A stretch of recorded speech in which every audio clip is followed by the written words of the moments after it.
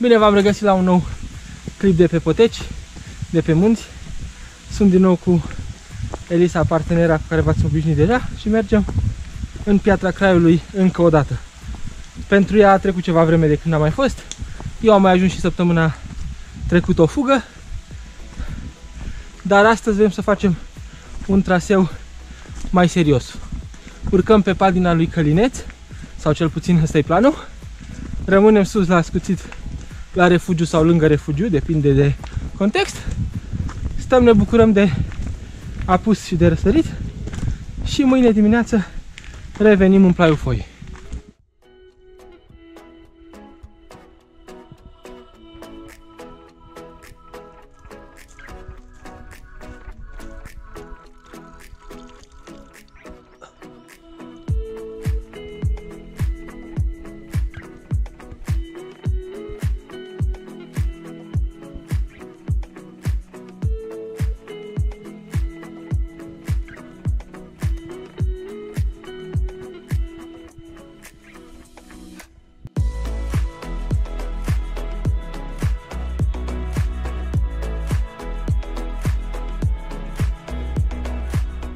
Ajuns în zona scării de fier care face legătura cu padina lui Călineț și brâul de mijloc, iar noi o să continuăm foarte frumos pe uh, Valea de Abrupt până, în, până sus în creastă.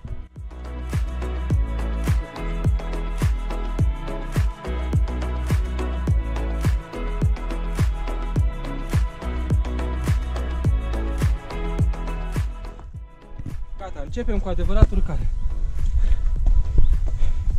Nu că până acum ar fi coborât, dar acum suntem la intrarea reală a padinei Ricălinet.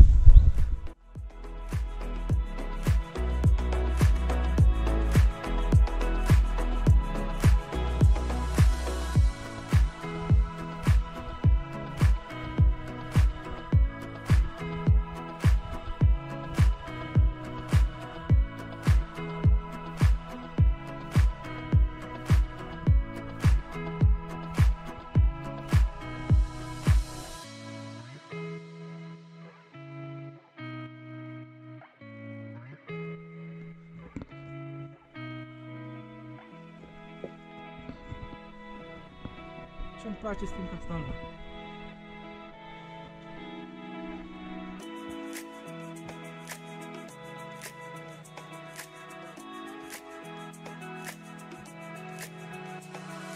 Thank you.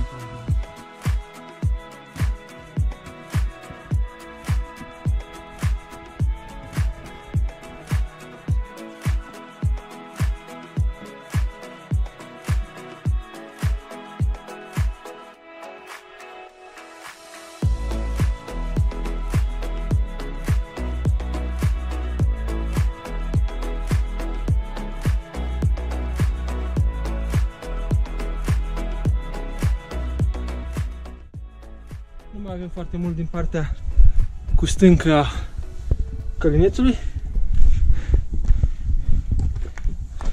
Am avut de urcat destul. E plăcut, e frumos. În jur se văd traseele de creastă. Ar trebui să fie una coarnele caprei, creasta prieteniei și creasta șoimilor, parcă, dar nu știu care cum sunt. Cred că mai avem puțin și ieșim în partea de final. Foarte fain traseul, destul de solicitant, însă deocamdată nu atât de tehnic cum ne așteptăm.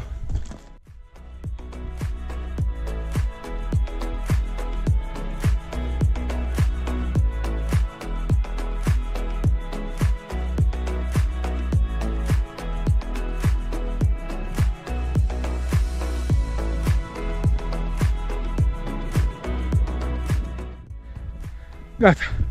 Am ieșit în cerc roșu, punct roșu, triunghi, uh, traseul marcat de creastă. Satele Măgura, Peștera, Bucegi în depărtare și aici padina lui Călinet. Cu Elisa care urcă și ea. Elisa, cum a fost? A fost un traseu fain. Fain, dar cam scurt, parcă. Da. Și mergem până la scutit unde vamos no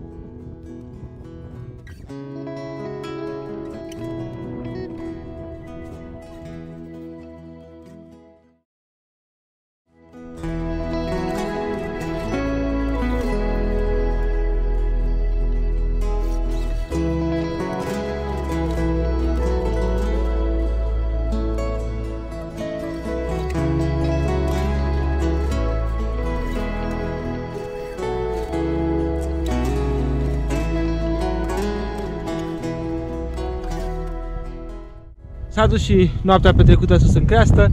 N-am reușit să dorm afară așa cum mi-am propus din cauza vântului destul de puternic, așa că ne-am înghesuit toți în refugiu. Și acum am început coborârea către Plaiul Foi, vrem noi prin uh, Vâlcerul cu fereastră. Suntem abia la intrare, încercăm să identificăm corect poteca către brâul de sus și apoi să-i dăm la vale.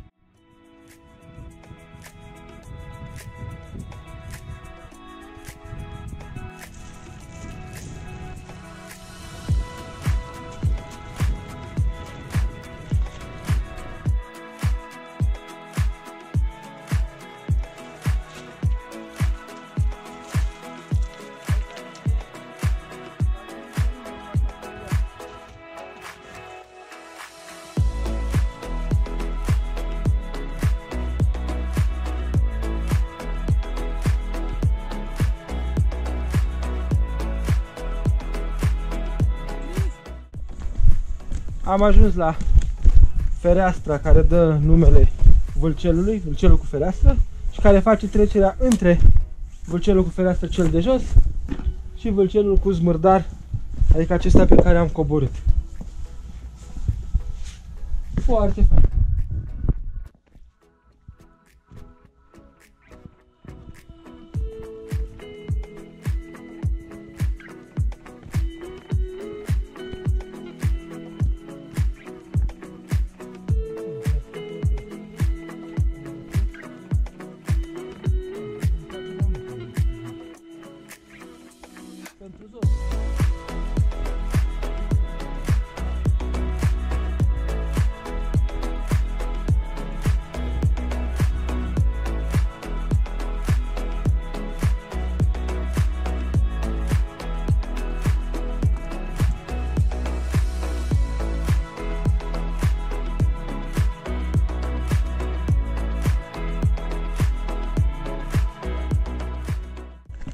Și ajungem și la refugiul speranțelor, locul în care închidem bucla pornită ieri.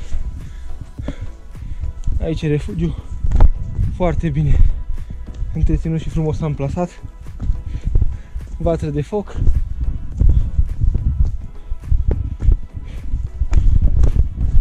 Vedem cum e interiorul. Cum spuneam, super curat, super încăpător. Da, se vede că nu prea vin oamenii pe traseul ăsta, nu zona cea mai umblată a Craiului. Și de aici dăm pe triunghi roșu înapoi la mașină, până în plaiul foi, ținem triunghiul roșu.